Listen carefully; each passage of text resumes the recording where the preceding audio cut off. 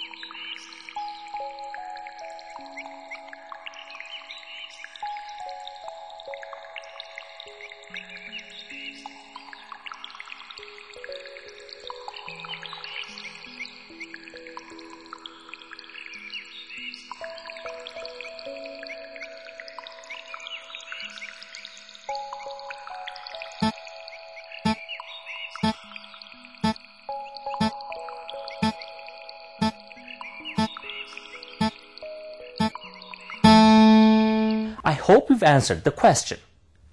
Balance of payment refers to the difference between the amount of foreign currency a country pays to and the amount it receives from the rest of the world. The balance of payments problem occurs when a country's payments of dollars to the rest of the world exceeds its receipt of dollars from the rest of the world a country pays dollars abroad for imports, debt repayment, aid to abroad, and so on. A country receives dollars from abroad from exports, loan, aid from abroad, and so on. Therefore, when total payments exceed total receipts, the balance of payments problem occurs. The reason behind the balance of payment argument is that when the industrial sector develops, the country produces more industrial products and increases its export earnings, which in turn helps solve the balance of payments problem. It is often argued that the terms of trade is in favor of industrial products as compared to agricultural products. And prices of agricultural products often fluctuate and may sometimes decrease. However, as it is explicitly stated in ADLI, our country cannot simply jump into industrialization. the dollars we need to import the machinery for our industries is expected to be generated from the agricultural exports. Otherwise, industrialization that ignores agricultural development may even cause the balance of payments problem. Students, let's discuss the next argument, that is, the linkage argument. This argument emphasizes that if industrial development is directed to use local raw materials, it can create strong linkages among the different sectors of the domestic economy. That is, the industrial sector creates a backward linkage by consuming agricultural raw materials. It also creates a forward linkage with the market by producing consumer and producer goods for the entire economy. Now, let's compare the linkage argument forwarded in favor of the industrial sector with the argument implied in ADLI. This takes us to the fourth activity, which you have to answer individually based on our previous lessons.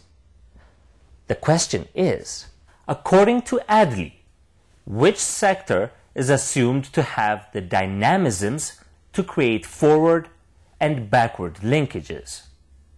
Please explain your answer.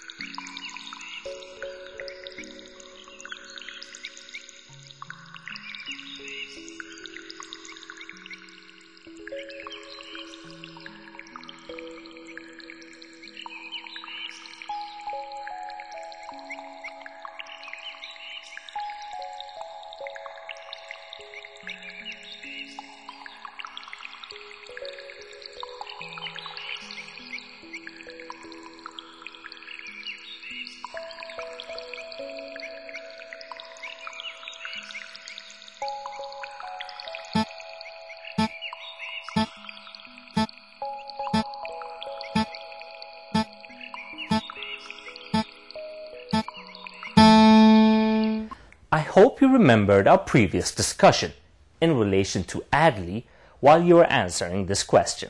Though the industrial sector is to take the leading role in the future, ADLI recognizes agricultural growth as the driving force for economic growth and industrialization.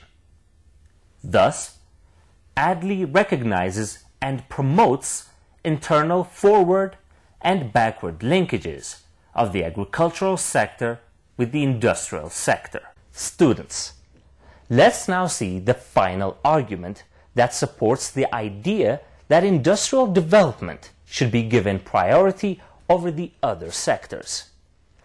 This argument is the saving or surplus argument. The saving or surplus argument is based on the idea that profit margins in the industrial sector are higher than those in agriculture, and this may lead to higher levels of saving. Students, in today's lesson, we explained and examined the arguments on the industrial sector versus the rest of the economic sectors. Before I wind up today's discussion, let me mention the arguments once again.